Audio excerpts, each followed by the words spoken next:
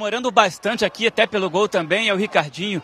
Saiu com uma vitória agora e tem mais dois jogos em casa. Puxa, tudo isso era se comemorar muito, né, Ricardinho? Importantíssimo, né? A vitória, buscamos três pontos fora de casa. E a gente sabe o quanto é importante tu buscar ponto fora de casa, né? E temos a oportunidade agora de voltar no nosso domínio. É um jogo dificílimo também, diante do Inter. Porém, um adversário direto, né? Pela, pelo G4, em busca do G4. Nos aproximamos ali e dependemos de nossa força. Desde já convoco né, a torcedor para comparecer na terça-feira. Será muito importante. Jogando junto com a gente nos torna ainda mais forte.